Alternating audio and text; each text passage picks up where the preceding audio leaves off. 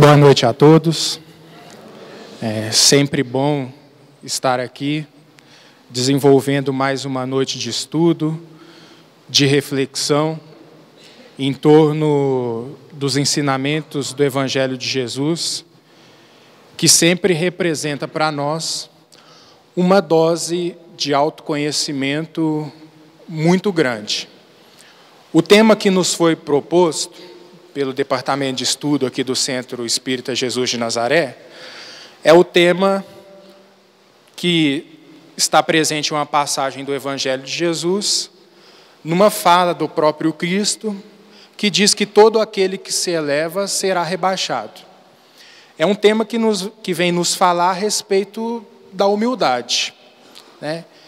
E falar sobre humildade representa e significa nós falarmos sobre o próprio surgimento do Evangelho de Jesus.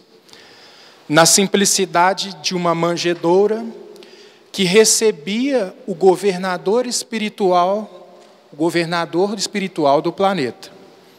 E se nós formos analisar toda a trajetória e todos os episódios da vida de Jesus, a humildade sempre teve presente como um reflexo dos próprios sentimentos do Mestre.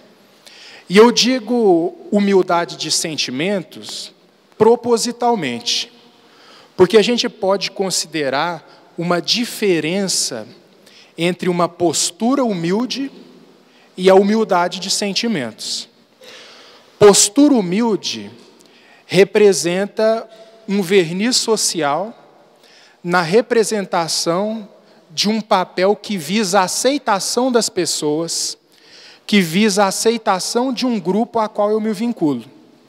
Essa é a postura humilde. É muito comum a gente perceber essa postura humilde em político em época de eleição, por exemplo, que cumprimenta desde o mendigo até o magistrado com o mesmo sorriso, né? com, a mesmo, com a mesma energia. Isso é a postura humilde o que não nos fala do sentimento de humildade, que é aquilo que a gente leva dentro de nós. Quando Jesus ele fala: "Bem-aventurados os pobres de espírito", ele está falando desse sentimento humilde, que só você com você mesmo sabe se é ou não. Só você, na análise da própria consciência, vai poder reconhecer a sua postura perante essa real humildade, sem se atribuir valores, qualidades e méritos que a gente absolutamente ainda não possui, mas também não nos rebaixando a uma inferioridade que não faz parte da nossa realidade íntima. Então, a posição de verdadeira humildade é a fuga desses dois extremos, encontrando um equilíbrio no meio disso aí. Porque a pessoa que muito se eleva e se atribui qualidades, se atribui méritos e virtudes que ainda não possui, ela costuma a cometer um erro que é o da superestima. Ela se superestima. E quem se superestima passa a subestimar os outros. Passa a subestimar os outros, porque ele acha que é o portador da verdade, ele acha que ele pode se sair bem em todas as situações porque ele é capaz e o outro não. Então, como ele se superestima, ele subestima os companheiros que se encontram ao seu redor. A posição do outro extremo, que é a posição daquela pessoa que se coloca por baixo, daquela pessoa que sempre é vítima, se coloca como vítima de si mesmo, essa pessoa, ela subestima a si mesma. E aí ela passa a superestimar os outros. Superestimar se colocando numa condição de subserviência. Subserviência que não tem nada a ver com humildade. Então, esses dois extremos não correspondem à humildade enquanto virtude, enquanto aquisição definitiva que o Evangelho de Jesus nos apresenta, que é o reconhecimento da minha posição real perante a vida, com os meus defeitos, com as minhas qualidades, é o reconhecimento de mim de uma forma mais exata que seja possível dentro do nível de consciência em que eu me encontro. Então se trata de um equilíbrio de nós nos reconhecermos seres inacabados, seres que não estão prontos, inacabados sentimentalmente, inacabados intelectualmente. Essas duas grandes asas da evolução que nós estamos por construir na nossa intimidade, a fim de que a gente possa edificar um futuro venturoso. Então é muito interessante a gente perceber que a humildade se trata desse equilíbrio e se trata também desse autoconhecimento, de eu me reconhecer da exata forma como eu sou, sem mais, mas também sem menos. Quando eu vou me reconhecendo um ser ainda por me construir, eu vou dando importância às pessoas. Eu, vou, eu começo a ter mais aceitação do outro. Porque, como eu sei que eu tenho que me desenvolver intelectualmente, e sei que eu tenho que me desenvolver também moralmente, eu passo a olhar o meu semelhante com outros olhos. Porque o desenvolvimento intelectual, ele se dá através do estudo, ele se dá através do contato com os grandes sábios. Mas o desenvolvimento dos sentimentos e da moralidade, ele acontece na adversidade. O desenvolvimento espiritual, a aquisição moral da criatura humana, ela acontece dentro da dificuldade, ela acontece dentro da adversidade. E aí a gente vai considerar a importância da aceitação dos outros da gente reconhecer as pessoas que aparentemente nos apresentam uma convivência difícil, como de fundamental importância para edificar em nós virtudes das quais eu ainda não possuo. Porque como eu vou falar de que eu sou paciente, vocês vão acreditar se eu falar assim, eu, eu sou paciente, pessoal, eu sou muito calmo. O que, que vai provar que eu realmente sou calmo? Até que uma pessoa venha e pise no meu pé. Por mais que a gente se escute falar sobre perdão, eu só vou poder saber se eu tenho essa virtude em mim até eu ter que perdoar. E para eu ter que perdoar, alguém vai ter que me ferir, alguém vai ter que me ofender. Para mim poder exercer a paciência, alguém vai ter que testá-la, alguém vai ter que pôr à prova. Então, esse desenvolvimento da moralidade faz com que a gente tenha uma aceitação maior das pessoas, faz com que a gente tenha uma visão diferente sobre as adversidades que a vida nos traz, a título de emancipação espiritual. E com isso a gente passa a desenvolver o princípio da caridade verdadeira dentro de nós.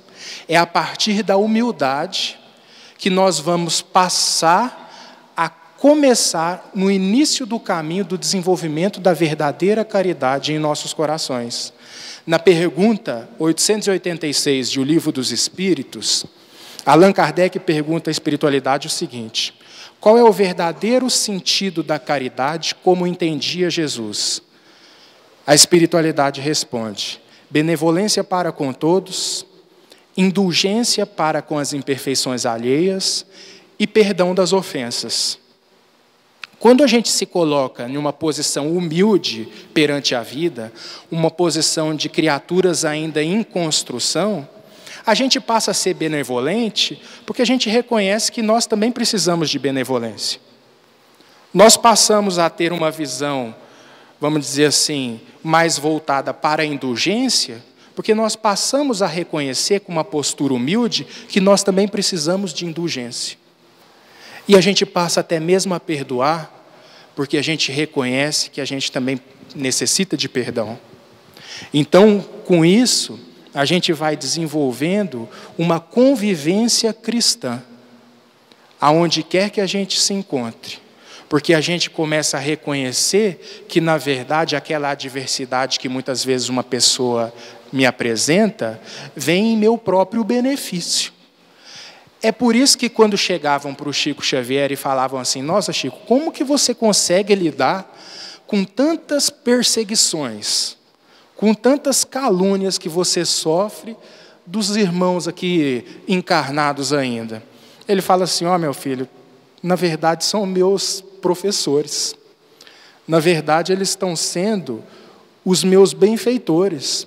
E ele não estava falando isso de uma maneira piegas, não. Ele estava falando isso como uma representação de quem tinha sabedoria e quem sentia a importância da diversidade, a título de crescimento espiritual, a título da gente comprovar todas as qualidades que ainda estão sendo estruturadas em nós. Então, um concurso e a participação, tanto daqueles que são sábios, mas também como daqueles que nos apresentam uma ignorância muito grande, são de fundamentais importância para o meu crescimento espiritual. São de fundamental importância para o meu aprendizado, para o meu engrandecimento. Tá certo? Então a gente passa a ter um olhar diferente para essas circunstâncias e a gente passa a não agredir a gente passa a aceitar mais a posição evolutiva de cada um, respeitando os diferentes níveis de consciência, porque só é humilde aquele que respeita. A posição de intransigência, a posição de agressividade, é uma postura de quem é orgulhoso, é uma postura de quem é, de quem é egoísta. Eu querer impor a minha verdade no outro, eu querer colocar para que o outro aceite a minha verdade, porque eu julgo que o meu ponto de vista é melhor que o ponto de vista de outrem. Então, quando a gente se coloca numa posição humilde, não que a gente vá ser conivente com o mal, mas a gente vai seguir a recomendação de Paulo de Tarso, quando nos diz: não resistais ao mal. Ou seja, não bate de frente não bate de frente, como foi abordado ali no Perguntas e Respostas, se utilize de uma maneira amorosa para poder estar tá convencendo aquele que você tem que convencer. Isso é o exemplo, é a força do exemplo que arrasta, né? É a força do exemplo que se dá através do amor, através de uma postura humilde.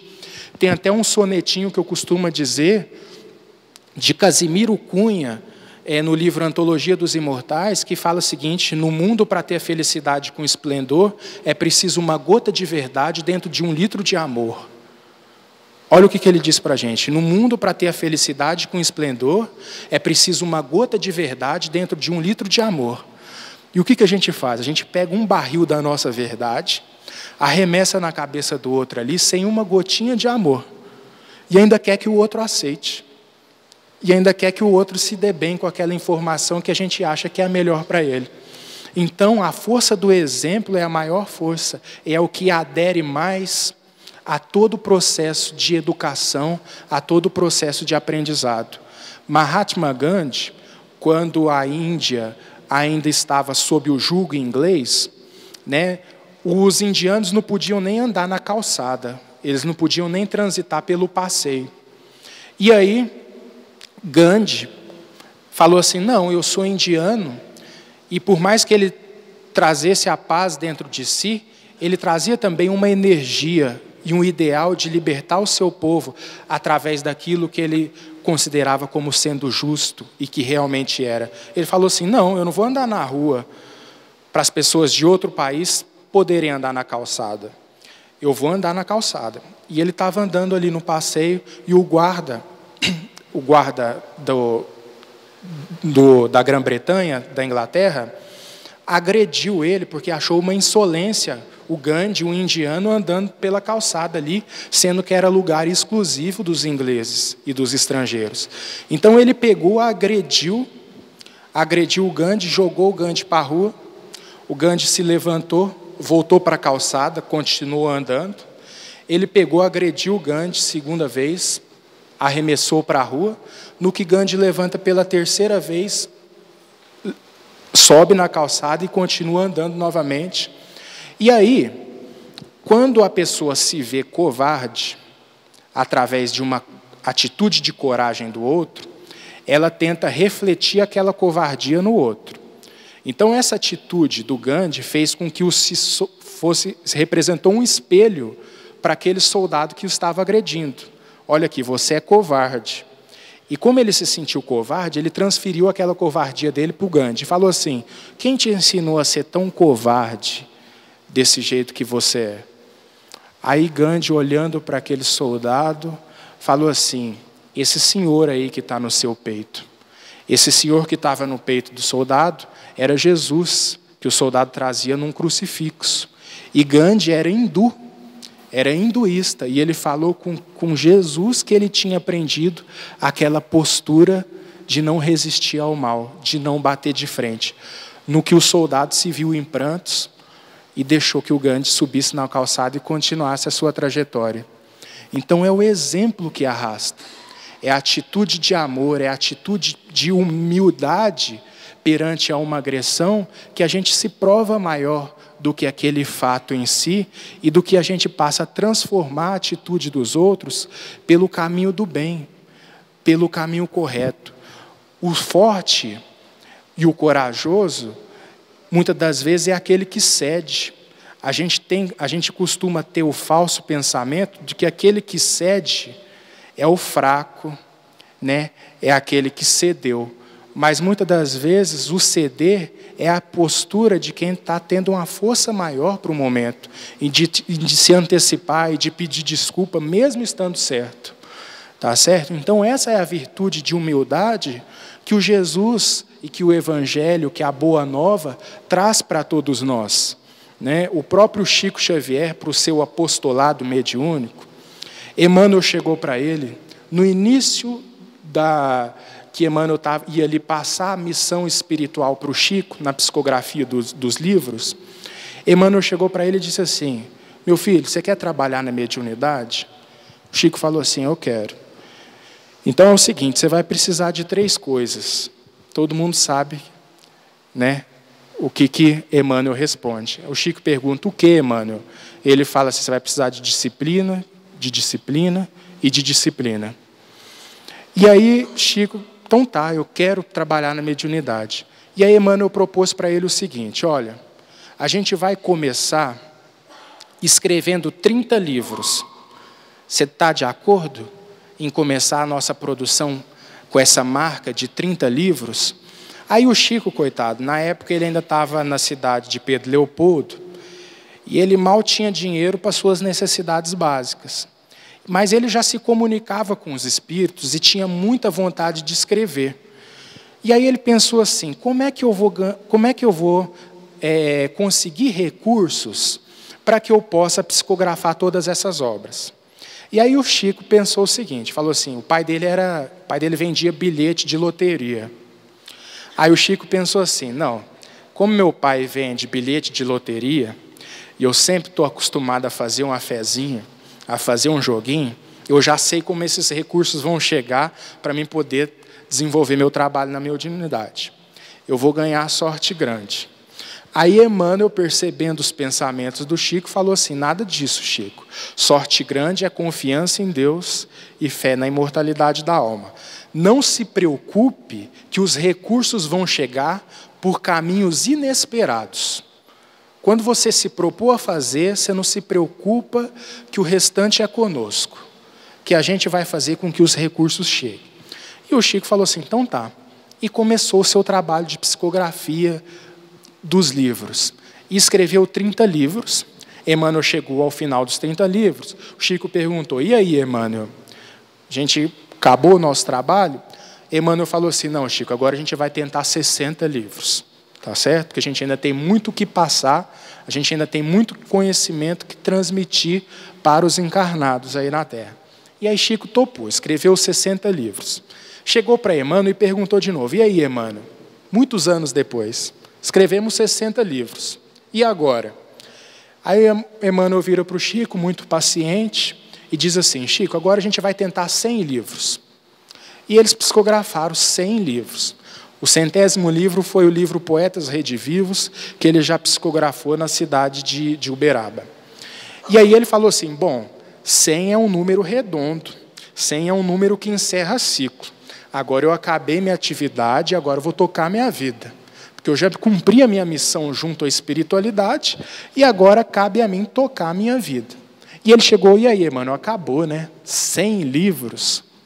Aí Emmanuel virou para ele e falou: Seu Chico, não pergunta mais nada, não, meu amigo, que agora a gente vai até quando der. Seu corpo já foi desapropriado pela espiritualidade. Agora a gente vai até quando der. Então você não me questiona mais nada, não. Aí o Chico vira para ele e fala assim: Mas e se eu não quiser? Porque eu tenho livre-arbítrio.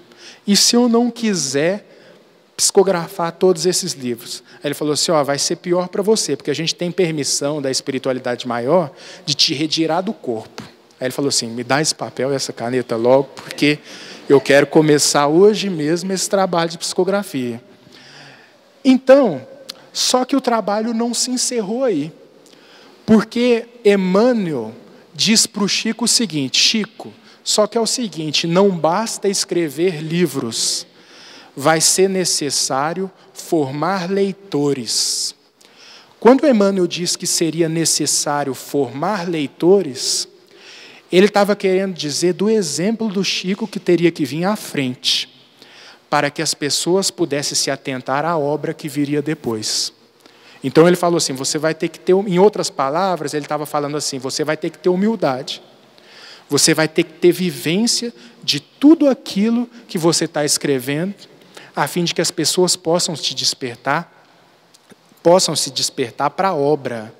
Essa é a formação de leitores da qual Emmanuel se referia, que vem principalmente através dessa postura de humildade essa postura de abertura, porque o que a principal característica da vida do Chico Xavier era a humildade. E talvez por isso que ele arrebatou e ele angariou vários corações para a proposta espírita, para essa proposta libertadora que vem nos falar da importância real da construção de todas essas virtudes né, na construção de todas essas qualidades que são imprescindíveis para a nossa evolução espiritual. E a humildade é uma delas. Hoje, mais cedo ali, o Tiago estava falando de uma coisa muito interessante, que foi da respeito da gente se colocar numa posição de humildade, a fim de que a gente possa crescer. Da gente se colocar numa posição de ignorantes mesmo, de pessoas que ainda precisam de esclarecimentos. Só que é preciso a gente fazer uma diferença entre uma ignorância pura, uma ignorância que nos conduz a uma evolução, e uma ignorância, é, uma ignorância viciada. Vou dizer a diferença da ignorância pura para essa ignorância que é viciada. A ignorância pura está no desejo, está no sentimento de que a gente não está pronto, de que os nossos pontos de vistas ainda são muito relativos e, tendem, e eles tendem a se aperfeiçoar e eles tendem a se modificar. Essa é a ignorância positiva. Quando Sócrates ele dizia, né, só sei que nada sei, ele está dizendo dessa ignorância positiva dessa busca pelo crescimento, tanto intelectual como o crescimento moral. Agora, a ignorância negativa, vamos dizer assim, a ignorância viciada, é quando eu me reconheço já portador de tudo o que a vida já teve para me oferecer. E daí eu não aceito conselho de ninguém. E aí eu não busco aprender uma visão diferente daquela visão bitolada que eu já estou acostumado a conviver. Então eu acho que eu já sei de tudo e eu não preciso aprender mais nada. Essa é a ignorância negativa. Essa é a ignorância, é a ignorância viciada, tá certo? Então essa abertura para a vida, essa posição de ignorância pura, só a humildade ela pode proporcionar para você. Que em todo lugar que você vai, você tem que aprender, você pode aprender alguma coisa. Com qualquer pessoa que você está convivendo, você pode ali extrair um aprendizado para o seu crescimento. Mas, primeiramente, é preciso com que haja o respeito, para que, como eu disse anteriormente, a gente não venha a agredir o outro, porque a gente tem dificuldade a lidar com as diferenças. Se o outro já não tem uma mesma preferência que é a minha, eu já tenho dificuldade de aceitar. Se os gostos do outro não são os gostos que correspondem aos meus, eu já tenho a posição de excluí-lo ali, né? e não de ampará-lo. É, tem uma, uma pergunta do livro dos Espíritos, para que a gente possa estar tá dando um exemplo disso que a gente está falando aqui, que é a pergunta 251. Só para a gente poder estar tá dando um exemplo rápido. Allan Kardec pergunta à espiritualidade o seguinte: os espíritos se sensibilizam com a música? Ele pergunta se os espíritos se sensibilizam com a música. E aí a espiritualidade responde: sim, mas não com a música da terra, que para eles parecem como sendo sons de selvagens.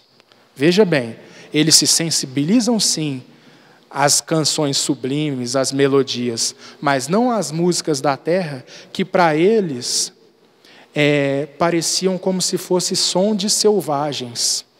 E aí a gente para para analisar o contexto de que o livro dos Espíritos foi publicado e de que essa pergunta foi feita.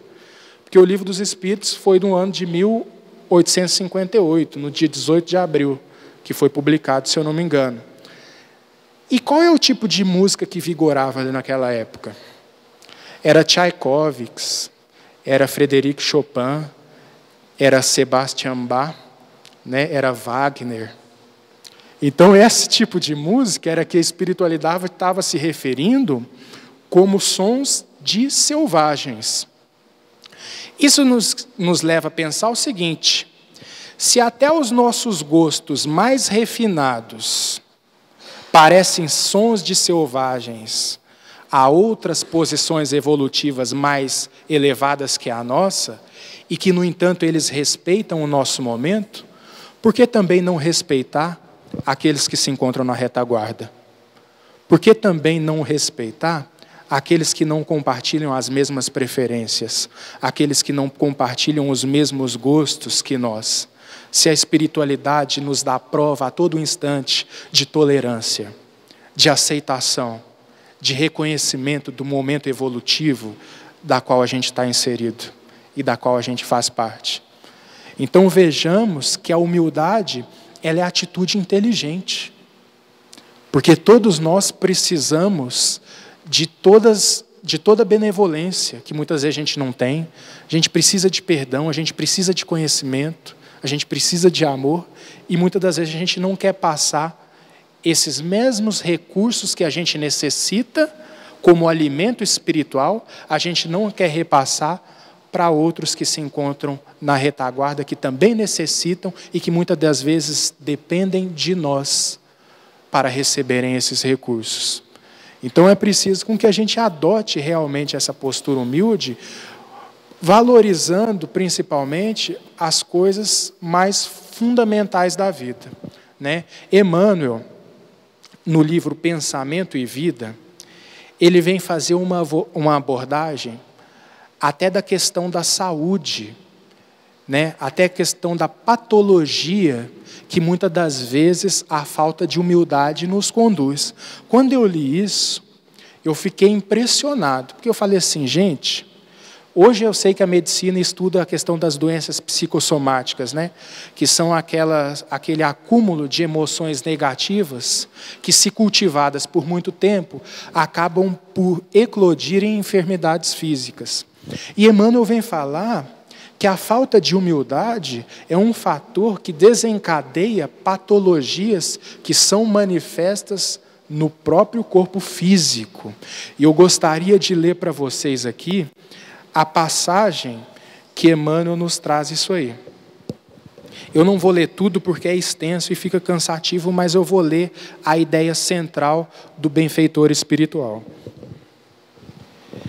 Ele diz o seguinte: a carência de humildade, que no fundo é reconhecimento da nossa pequenez diante do universo, surgem na alma humana, fazem com que surjam na alma humana doentios enquistamentos do sentimento.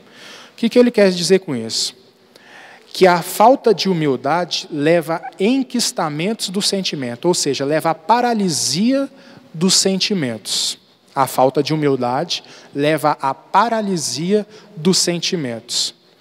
quais sejam o orgulho, a cobiça, o egoísmo e a, e a vaidade, que se responsabilizam pela discórdia e pela delinquência em todas as direções. Sem o reflexo da humildade, atributo de Deus no reino do eu, a criatura sente-se proprietária exclusiva dos bens que a cercam, despreocupada da sua condição real de espírito, de espírito em trânsito nos carreiros evolutivos e apropriando-se da existência em sentido particularista, converte a própria alma em cidadela de ilusão, dentro da qual se recusa ao contato com as realidades fundamentais da vida. Então, Emmanuel fala com que a falta de humildade faz com que a gente crie uma cidadela de ilusão em torno de nós. Olha a questão que a gente falou a princípio da gente começar a atribuir qualidades da gente atribuir a nós mesmos méritos que a gente não possui, criando uma cidadela de ilusão em torno disso aí. Sob o fascínio de semelhante negação, ergue azorragues de revolta contra todos que se inclinem o espírito ao aproveitamento das horas, que já sem o clima de humildade não se desvencilha da trama de sombras a que ainda se vincula, no plano da animalidade que todos deixamos para trás após a auréola da razão. Ou seja, sob o fascínio da vaidade, a gente se revolta contra todo aquele que que representa um obstáculo para nós. Porque a vaidade e a falta de humildade faz com que eu tenha uma cobiça naquilo que eu acho, na, para, para com aquelas pessoas que eu creio possuem mais que eu. Então eu vou ter naquele indivíduo que aparentemente possui mais que eu, aquilo que eu quero ter, um obstáculo entre a minha posição e aquilo que eu quero alcançar. Possuído pelo espírito de posse exclusivista, a alma acolhe facilmente o desespero e o ciúme, o despeito e a intemperança que geram uma tensão psíquica. Ou seja, essa competitividade que a gente passa a estabelecer com os outros, pela falta de humildade, gera uma tensão psíquica. Ou seja, a pessoa fica tensa psiquicamente, porque como ela está em clima de competição e ela visualiza muitos que, que, se, que tem mais do que ela pretende ter, isso lhe incomoda, isso lhe gera uma tensão psíquica. Quer ver? Isso acontece muito é, no período de prova, principalmente na faculdade. Quando a gente faz uma prova ali, e tal, e a gente fica de olho na nota daquelas pessoas que a gente estabelece uma determinada concorrência, que a gente estabelece uma determinada competição. E se a nota do outro for maior que a minha, pronto, é a perdição. É um motivo de tensão psíquica, porque a nota do outro foi maior do que a minha nota. Tá certo? Ou seja, eu vou me ver triste com a felicidade do outro. E essa tristeza gera uma tensão psíquica que Emmanuel coloca aqui no livro, da qual se derivam perigosas síndromes da vida orgânica, a se exprimirem na depressão nervosa, no desequilíbrio emotivo, na ulceração, na disfunção celular, para não nos referirmos aos deploráveis sucessos da experiência cotidiana, em que, na ausência da humildade, comanda o incentivo à loucura nos mais dolorosos conflitos passionais.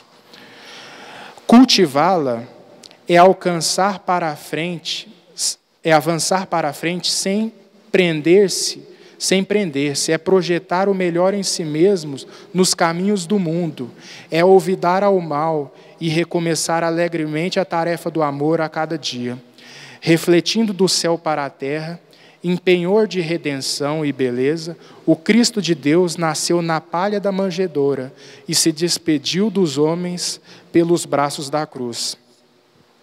Então a gente vê que a própria que a própria falta de humildade pode desencadear em nós doenças até mesmo físicas, pelo acúmulo dessa tensão psíquica.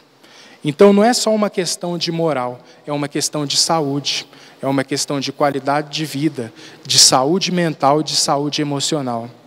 No capítulo, João, é, no capítulo 13 do Evangelho de João, para a gente estar tá encerrando a nossa reflexão de hoje, nos fala que o Cristo ele se reunia poucas horas antes do seu martírio, da sua crucificação, com os seus apóstolos, em um jantar em comum que eles estavam ali todos presentes. E Jesus, já sentindo que estava no momento de partir para o plano espiritual, ele se levantou da mesa e, numa atitude que ninguém entendeu o significado, ele tirou a sua capa, amarrou na cintura e se abaixou e começou a lavar os pés de Pedro ele começou a lavar os pés de Pedro, numa atitude que ninguém entendeu. E aí Pedro ali, ele ficou intrigado com aquela atitude de Jesus e questionou aquela atitude que o Cristo, que o mestre, que o governador planetário estava tendo, descendo ali, lavando os pés dos apóstolos. E aí ele foi e questionou Jesus a respeito disso.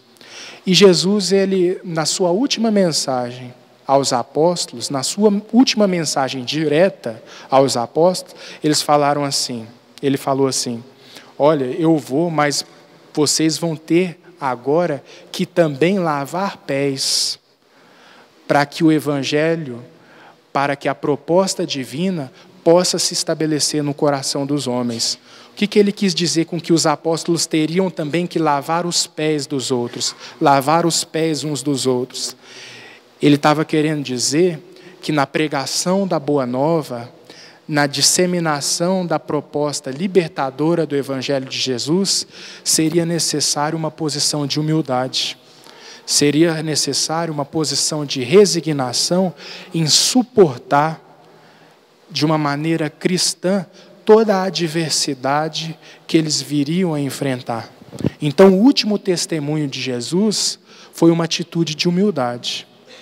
Então, cristianismo e atitude humilde, cristianismo e condição de humildade, não postura humilde, como eu já disse a princípio, que é aquela representação que a gente faz para parecer bonito para o outro, para ter uma aceitação, para parecer que a gente está do lado do bem, mas aquela verdadeira humildade de realmente sentir esse sentimento, de me colocar na minha real condição perante o universo, sem menos e sem mais, é o que Jesus quis nos trazer com toda a sua proposta evangélica, com toda a sua proposta educativa de redenção da alma humana e de emancipação, por consequência, da humanidade.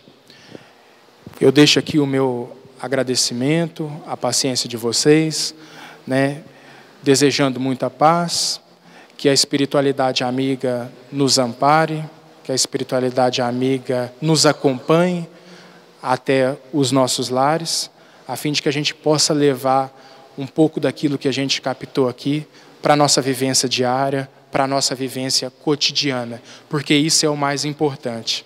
Não adianta nada a gente ter conhecimento da reencarnação, a gente ter reconhecimento da imortalidade da alma, da mediunidade, de Deus, se isso não se traduz em atitudes, ou pelo menos num esforço em pôr todo esse conhecimento em prática na nossa vida diária. Agradeço mais uma vez, muita paz e até uma próxima oportunidade.